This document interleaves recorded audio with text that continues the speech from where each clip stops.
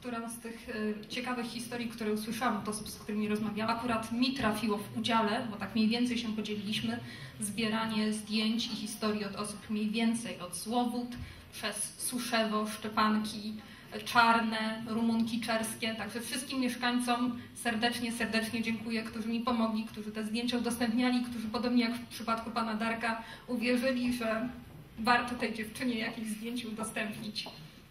A nie jest to lekkie i ja specjalnie tak trochę dzisiaj na podpuchę te wesela, pogrzeby, te uroczystości rodzinne, z których w domach tych zdjęć jest tak naprawdę najwięcej, pewnie nad tym, że któreś z tych zdjęć może być na tyle cenne, żeby je udostępnić do albumu. A to są naprawdę cenne zdjęcia i wśród wielu z nich były naprawdę bardzo interesujące historie.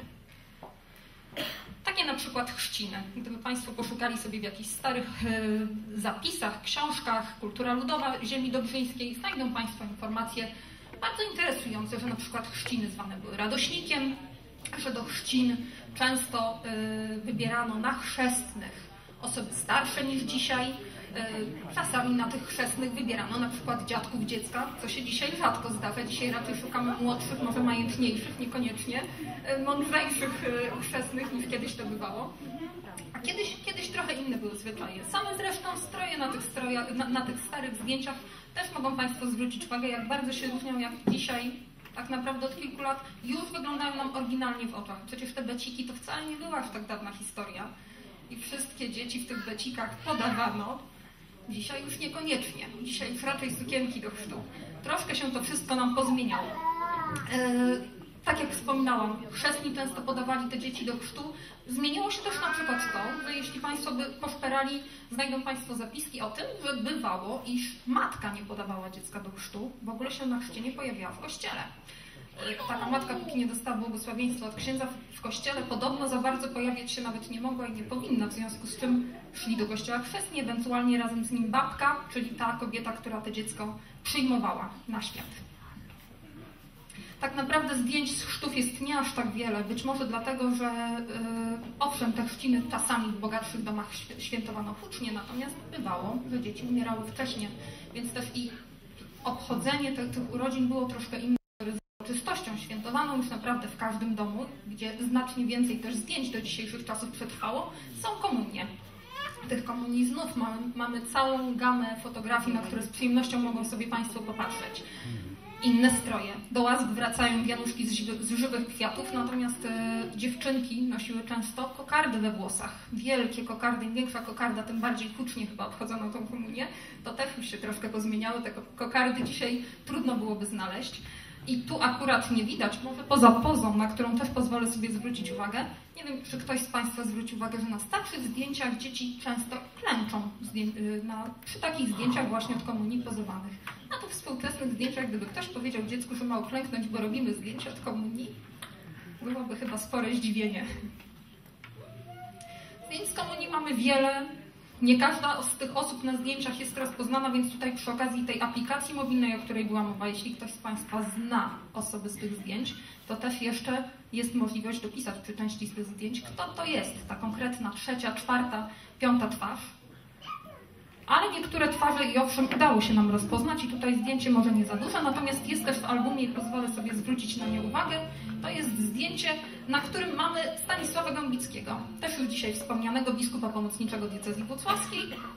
I akurat na tym zdjęciu to jest drugi z kucających chłopców, także jeśli ktoś zwróci uwagę w pierwszym rzędzie, dzisiejszy biskup. Wtedy jeszcze prawdopodobnie do głowy mu nie przyszło, że, że pójdzie tą drogą i kokardy, o których wspominałam we włosach. A w przypadku chłopców krótkie spodenki, białe podkolanówki. Też przypuszczam nie jeden z panów tutaj siedzących na sali w podobnym stroju. O, już widzę kiwanie głowami. A, jeszcze pozwolę sobie wspomnieć, tutaj akurat załapało się zdjęcie z Ostrowitego. W samym albumie mamy przewagę z trzech parafii, z trzech parafii, których kościoły parafialne wchodzą w skład, ziemi, e, w skład gminy Wielgie. Natomiast na terenie gminy mamy też dwie parafie, które nie w całości, ale częściowo także do tej gminy należą. I stąd akurat tutaj Ostrowite, sam kościół parafialny jest już spoza gminy, natomiast na zdjęciu Krystyna Ambroziewicz i owszem, mieszkanką tej gminy była. E, tu zbliżamy się troszkę bardziej ku współczesności.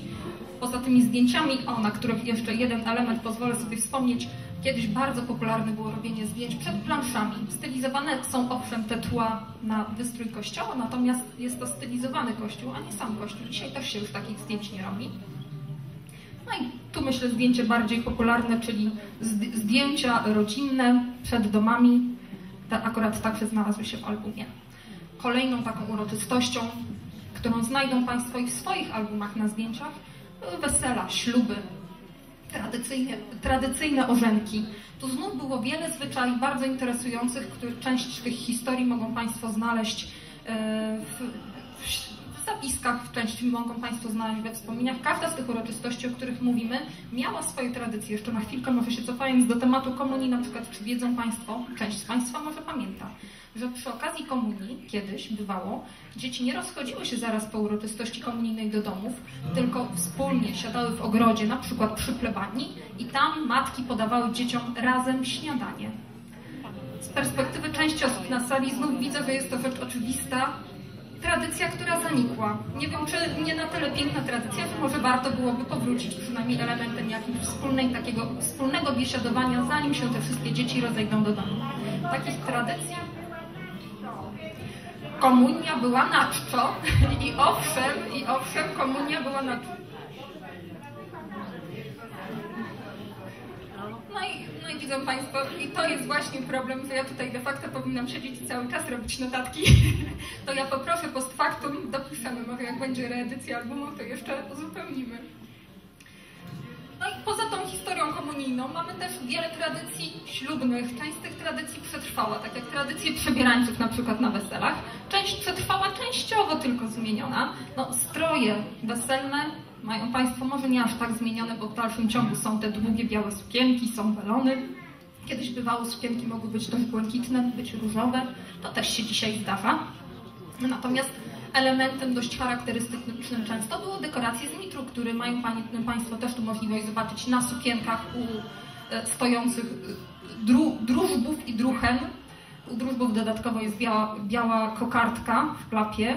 Dość charakterystyczny element na bardzo wielu zdjęciach. Mogą Państwo też znaleźć informacje, jest bardzo tradycyjny strój, właśnie taki element stroju.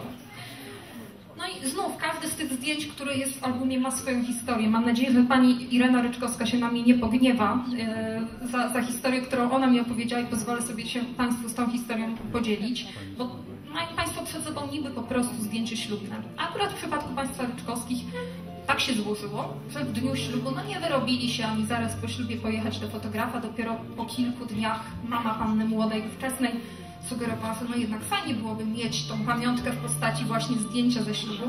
I pojechali ze Złowód z panem młodym na rowerach do Wocławka, do fotografa. Dzisiaj wydaje się, że jest to dość daleka droga. Wówczas po prostu pani wpakowała sukienkę ślubną do torby. Do fotografa dojechali, tam się pani w sukienkę przebrała, no ale kwiatki od ślubu już nie wytrzymały tej podróży, nie wytrzymały tego tygodnia, który minął od czasu ceremonii. Fotograf był przygotowany na tę ewentualność, miał na tą okazję bukiet z papierowych kwiatów i ten właśnie bukiet widzą Państwo na zdjęciu z prawej strony. Dzisiaj powolutku wchodzą do łask takie bukiety a tu proszę bardzo, ileś już lat temu fotograf był równie przygotowany, miał równie dobre pomysły. Na zdjęciu nie widać, że, to, że są to ruchy z papieru, a były. Każde z tych zdjęć ma taką swoją ciekawą historię. Przy okazji Państwa młodych na zdjęciach mogą też Państwo zobaczyć bardzo wielu ich krewnych. I tu znowu ciekawe historie osób, które odwiedzały się, kto przychodził na śluby. Bo poza krewnymi na, przychodziło na śluby bardzo wielu sąsiadów. Zresztą często ci sąsiedzi byli jednocześnie krewnymi. Każda z tych osób na zdjęciu ma swoją historię. No, poza tymi zupełnie stylizowanymi mamy też zdjęcia troszkę luźniejsze. Ten element zabawy pojawia się w różnych wydaniach. No i ten element, o którym też wspominałam, czyli przebierańcy, zwani też kiedyś dziadami. Jeśli ktoś nie został zaproszony na ceremonię, miałby ochotę, to ten zwyczaj jeszcze akurat przetrwał w dalszym ciągu taką, takie prawo wejść na wesele ma. Także jeśli ktoś by chciał, to i owszem, wystarczy się ładnie przebrać i zapraszamy na wesele. Jest też jeden zwyczaj, który troszkę się zmienił, natomiast na starych zdjęciach mogą to Państwo znaleźć, a mianowicie z racji, że dzisiaj coraz więcej jest sal weselnych, sama z takiej sali niedługo planuję skorzystać, kiedyś wesela odbywały się w domach i przy okazji wesel w domach pomieszczenia były, izby były trochę mniejsze, pokoje trochę mniejsze, więc ciężko było tym biesiadnikom się pomieścić, żeby spokojnie się wytańczyć. Zabawa w związku z tym bez problemów przenosiła się na podwórze, a jak widać nawet poza podwórze weselnicy nie mieli problemu z faktem, że bawią się pod gołym niebem. I tutaj jeden wątek, który pozwolę sobie przy okazji tych e, imprez rodzinnych rozbudować troszkę szerzej, a mianowicie kapele weselne. To jest wątek wybitnie ciekawy, także z podziękowaniem tutaj dla dwóch kapel weselnych, z którymi mi się zdarzyło tutaj przy okazji zetknąć i przy okazji zbierania moich zdjęć szerzej na temat tych kapel czegoś dowiedzieć. Jedna kapela to jest kapela ze Złowód, na którą z grubsza nazwałabym kapelą hełminiaków, chociaż nie tylko mm, panowie Hełminiak Stanisław i Józef występowali w tej kapeli, ale także e, Zenon Chyliński z, Gro e, z Grochowalska. Od lat 50. grała ta kapela. No, panowie grali de facto do ostatnich swoich dni, czyli przez 50 lat z instrumentem w dłoni, poza takimi uroczystościami rodzinnymi, to jak uroczystości jakieś, czy parafialne, czy jakaś była potrzeba, to też się zdarzyło, że zagrali. To akurat pięknie malowanym bębnem pan Stanisław Chełminiak. A druga z kapel, z których pięknych historii naprawdę, to, to tutaj też dłuższy, dłuższe wystąpienie można byłoby zbudować na sam temat tych kapel. Druga z kapel to kapela Szynków. Przy okazji zdjęć, zbierania zdjęć do albumu dowiedziałam się, że na ślubie mojego własnego chrzestnego też grała ta właśnie kapela, więc tym bardziej z sentymentem. Tutaj akurat wypisałam nazwiska, y, imiona tych, tych z rodziny, którzy akurat grali w tym czasie, ale to jest kapela o bardzo długiej tradycji. Już w latach 30. grali o pokoleniu z lat 30. Grali, grały dzieci tego pokolenia, potem wnuki de facto z tego pokolenia. Długa, długa historia, która kończy się de facto już w 2000 roku mniej więcej, kiedy zespół się rozwiązuje. Instrumenty zostały przekazane do Muzeum Ziemi Kujawskiej i Dobrzyńskiej we Wrocławku. Bardzo, bardzo znów interesujące historie i znów mam nadzieję, że nie zostanę tutaj źle odebrana, że pozwalam sobie dzielić się nimi na forum publicznym. I z grania na poszczególnych imprezach, wielu zabawach, wielu uroczystościach kościelnych, na Bożym Ciele, y, wiele, wiele ciekawych występów. Przez historię o tym, jak to y, pań, państwo, panowie szynkowscy uczyli swoich uczniów, nie tylko z rodziny, ale także chętnych, którzy czuli, że chcieliby się czegoś dowiedzieć, mogli do nich przyjść i odbywały się w domu lekcje grania. Po historię o tym, jak to w nocy na przykład albo nad ranem domownik postanowił wszystkich pobudzić swoim koncertem, bo akurat czuł potrzebę zagrać i wszyscy domownicy w tym momencie, koniec drzemki, tak, budzimy się, wstajemy. Więc przez takie występy, no, wierzę, że życie w tym momencie w takim domu muzykalnym jest bardzo ciekawe.